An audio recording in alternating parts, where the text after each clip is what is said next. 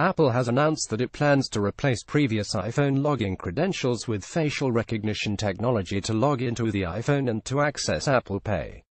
This should prompt some privacy and security concerns, but probably not the ones you're thinking. It's not the TSA or the deep state who are most likely to abuse it. The depth and portability of current facial recognition authentication may be a new bridge into consumer app insecurity, like online banking apps and devices that hook up to the Internet of Things. Basically, with a newer facial recognition method about to become an industry standard after Tuesday's Apple event, identity theft could take on whole a new face. And down the line, it'll make identity theft yet another thing only those with disposable income can afford to stop. Feature-based replacing image-based facial recognition There are two general technologies that perform facial recognition feature-based and image-based.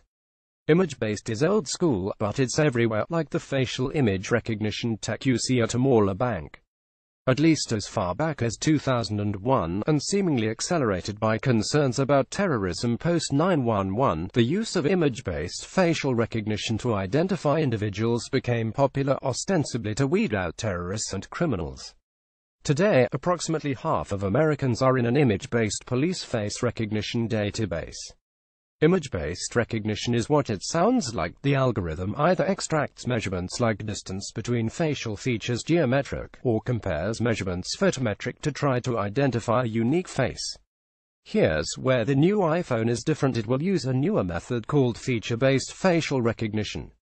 Feature-based facial recognition takes an initial set of measurements at the millimeter level, and sometimes subdermally. The sensor, in this case the high-resolution front-facing camera of your iPhone, will create an architecture, create code around it, and sign that code with a unique hash. Each face, including your face, will have a hash ID. This hash is stored in a secure enclave of the phone. But here's the problem if an individual can break into the secure enclave, they can take the representation of you and use it to be you in any platform that uses that same database.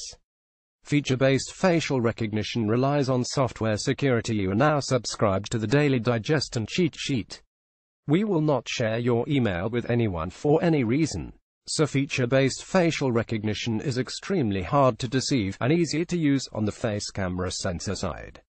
What's the issue? The problem stems from the unique identifier, or a hash, that's generated by your phone's front-facing camera, consistent with whatever sensory configuration the recognition software seeks. That hash is stored in your iPhone. Feature-based facial recognition leaves access to all the good stuff on your phone ultimately stealable because of the math behind the tech. It relies on software code to generate a hash, and relies on hardware and software code to reinforce security and protect the access to that information. As I've noted before, code is written by humans, and humans are flawed.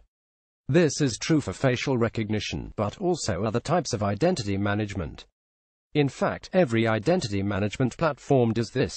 It takes an input, and frames it in software based on mathematics.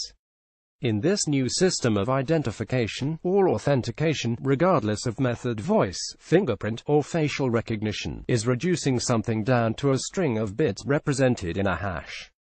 There are vulnerabilities because software is stealable, manipulable, transferable, and portable. There are innumerable obvious privacy concerns in the ways this could play out based on the intimacy of data and information that we store within an identity-managed system. Think the fappening leak of iCloud photos, or on the legal side, the increase in warrantless cell phone seizures in the last few years. Security in feature-based facial recognition There is no generic or universal formula for how to translate feature-based recognition. But, to get technical for a second, if you can get the source code for how the camera interpreted that face, you could triangulate to capture the compiler so it will compile like it's a real person. As long as I can get the hashes to match, I can open any device on the Apple platform. And someone can insert serial ports and force the device to authenticate the hash. In human English if someone figures out how to hack your face, that is the least of your worries. Increasingly, we're using phones for everything from banking and company emails to unlocking the front door to our house.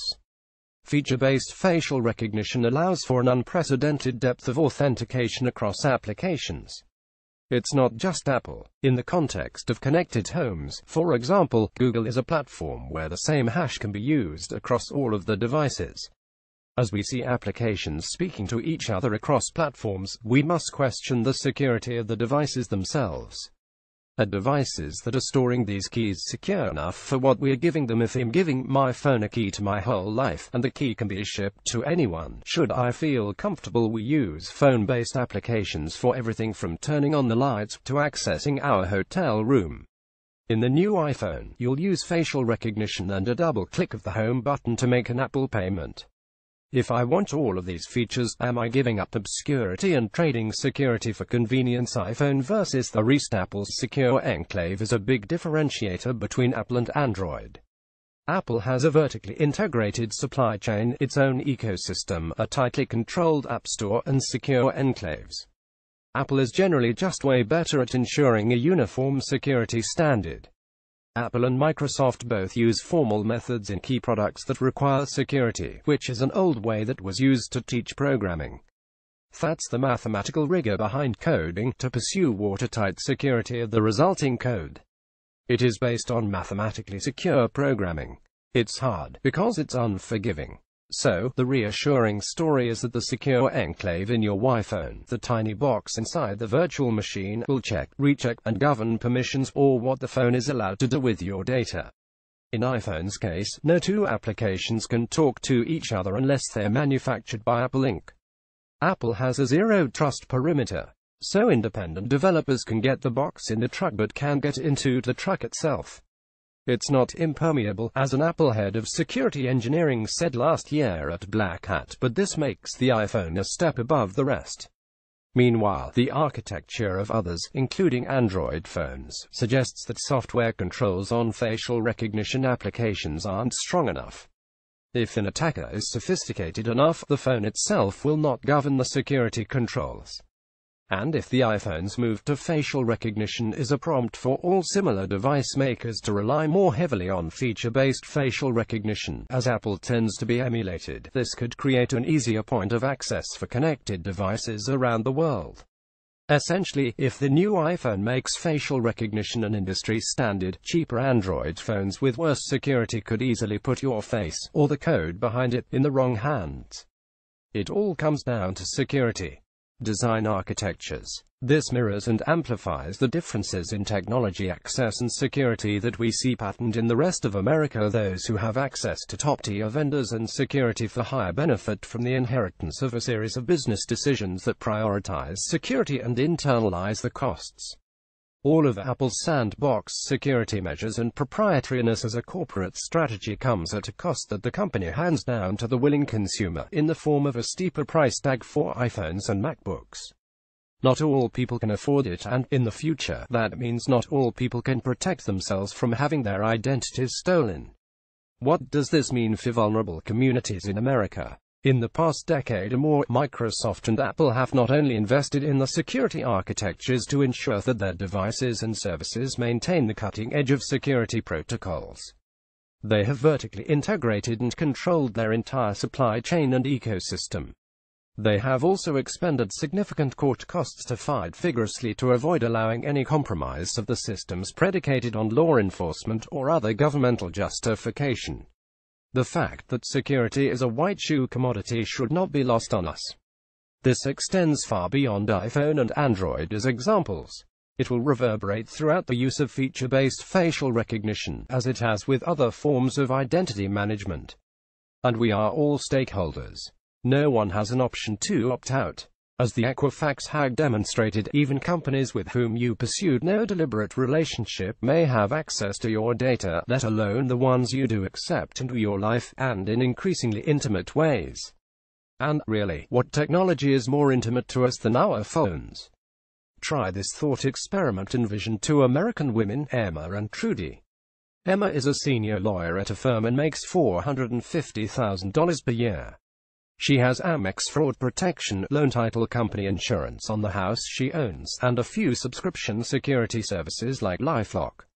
She shops at Neiman Marcus and owns an iPhone. SHE's inheriting security as an artifact of wealth. Trudy has a few young children and perhaps serves as caretaker for other family members like nephews and mothers. Let's say her husband died in a war and SHES receiving survivor benefits of a military spouse and working as a nurse in the local hospital. She makes $43,000, rents from a weak title company, and shops at Target and TJ Maxx. She has a phone that came with the Cricket Wireless pay-as-you-go plan. Not only does she not have a nice Amex with fraud prevention, she uses a prepaid green dot debit card that can be stolen like cash and doesn't have monitoring or support. She isn't a lawyer, doesn't have a lawyer, and doesn't know what her rights are as a consumer. They have different access to security awareness. They have differing amounts of agency to articulate or change how secure they are. Third, and most notably for current purposes, these two hypothetical actors inherit different levels of security as a function of socio-economic status. This is not an outcome that I believe Americans have said they're willing to accept. The new iPhone's facial recognition software is the harbinger of a new arc in the era of stratified social goods disproportionately available or unavailable to Americans, depending on how much people can afford to protect themselves, with additional reporting by Alex Krylien Merritt Baer's views do not represent the views of the U.S. government or the FCC, for whom she works.